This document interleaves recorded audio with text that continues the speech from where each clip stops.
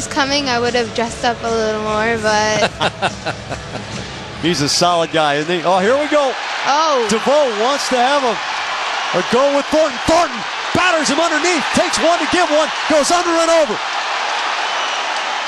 Thornton going to the body. Deveaux hammers Thornton in the ribs. Thornton goes over the top. Deveaux tries to use the reach advantage. Thornton gets him backing up. Wants to rip that helmet off. Deveaux, the short left. Thornton trying to get underneath. Deveaux, the helmet sideways on his head. Thornton backs him up against the dasher. Turns him, pulls him off balance.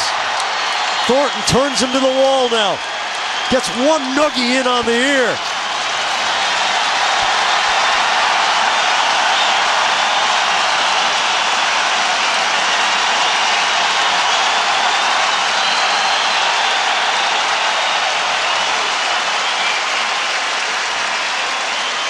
Well, this shouldn't surprise anybody given what happened at the tail end of the last shift.